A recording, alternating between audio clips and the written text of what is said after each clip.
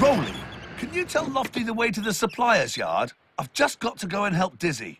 OK, Bob. All right. You need to go along the coast road, Lofty, and then turn right. The coast road?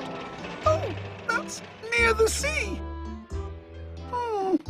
I think I'll go on the road through the hills instead.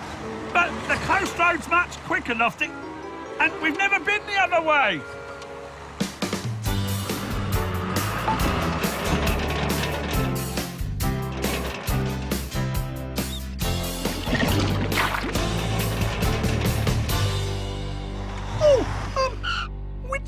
It?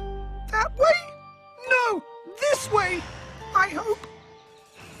There. Finished. But where's Lofty with the wood? Hello, Bob the Builder. Oh, right. OK, thank you. That was the supplier's yard.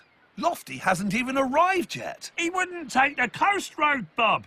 He went through the hills instead. Oh. Well, Grabber's on his way to look for him, but I wonder why he went the wrong way.